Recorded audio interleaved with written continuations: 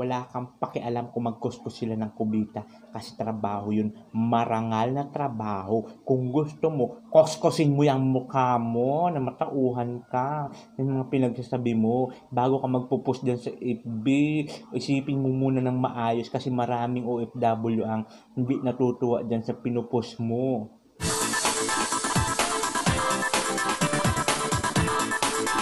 Hi guys, good morning. This is Nitan and welcome back to my channel. And don't forget to subscribe and click the notification bell para ma-update kayo sa bago kong video.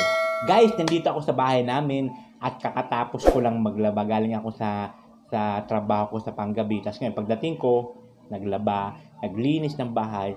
At na, nabubuisit ako dahil mayroon na naman akong nakita na hindi ka nais-nais.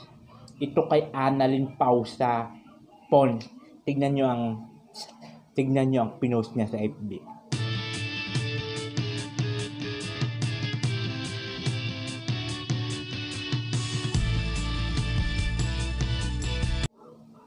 Yan, nakita nyo, di ba? Ang kapal ng mukha ng babae na yan. Makapagsabing ang mga OFW, mga POK, at mahilig sa TI. TI. At taga-kuskus ng kubita. Gusto ko lang ipaalam sa iyo ha, na ito, ito, ito, nakikita mo. Ito sa likod ko nakikita mo. Katas yan ng OFW. Kaya wag kang manlait na akala mo kung sino ka. Puny- na, na, nyeta ka. Ay ano ngayon kung nagkukuskus ng kubita sa abroad? Anong problema mo dun? At least kumikita ng legal.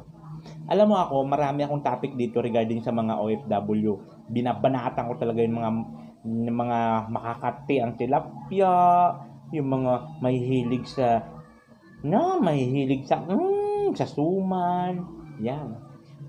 Pero ibang usapan na pag yan mga OFW, nilalait mo ang kanilang trabaho. Ano ang karapatan mo para laitin ang trabaho nila? Anong gusto mo? Nyeta ka? Akala mo sino ka? Nagmamaganda ka? Maganda ka ba? Piling mo lang yun. Na mukha kang linuwa ng sawa ng ilang taon na.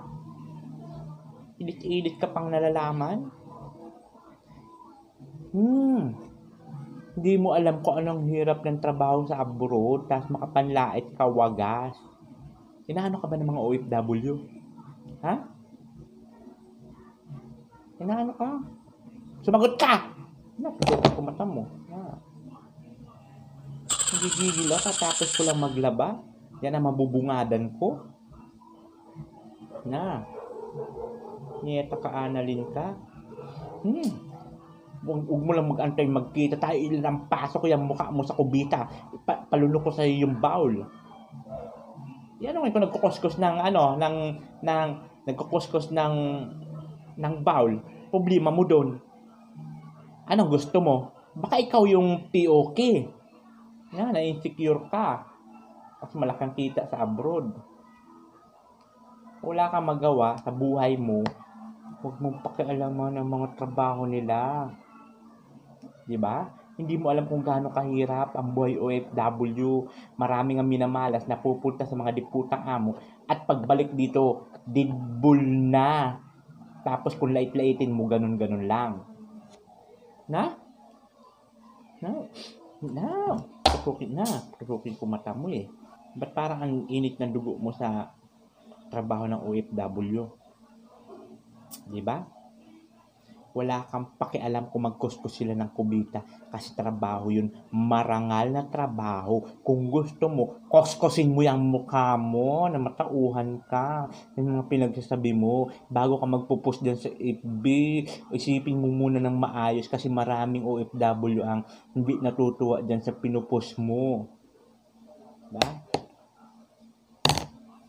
Ang banatan mo na lang yung mga makakati ang yung makakati ang tilapia na pumupunta doon tapos naghahanap ng ibang buaya para kainin yung suman. Yun ang banatan mo pero yung mga matitinong OFW na nagtatrabaho ng maayos huwag mong pakialaman.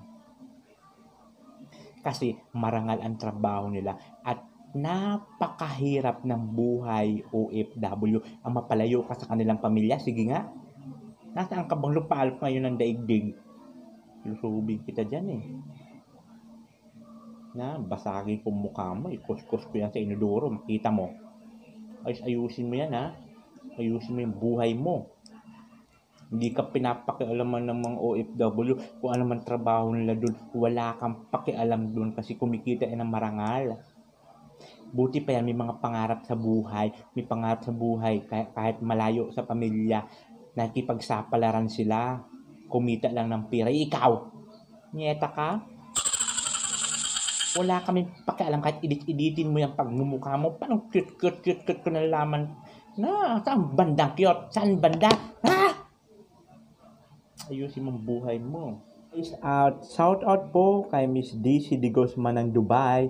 Maraming salamat po Miss DC sa panonood lagi ng video ko. Maraming maraming salamat po. At ingat po kayo lagi dyan. At kay Geraldine Kondo ng Japan. Ohayo gozaimasu.